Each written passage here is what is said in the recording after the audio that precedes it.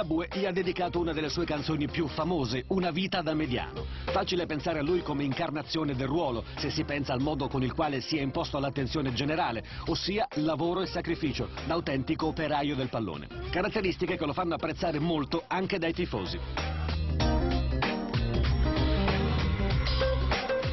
Oriali si divide tra difesa e centrocampo, terzino o mediano, a seconda delle necessità. Dotato di notevole grinta e corsa, si apprezza per la rapidità con la quale scatta in avanti dopo aver rubato palla in tackle all'avversario. Troppo spesso inclina agli infortuni, vanta anche un discreto bagaglio tecnico che gli consente, tra le altre cose, di andare in rete con sufficiente continuità.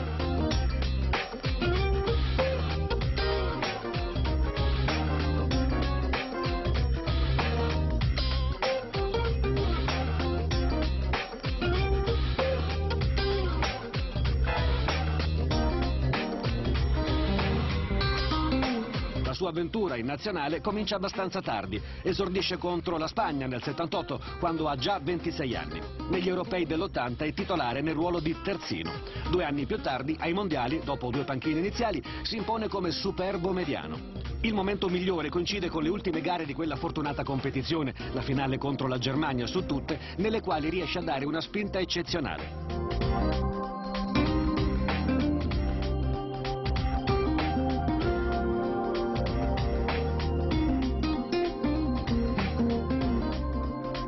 Dopo appena 28 partite nell'83 contro la Svezia.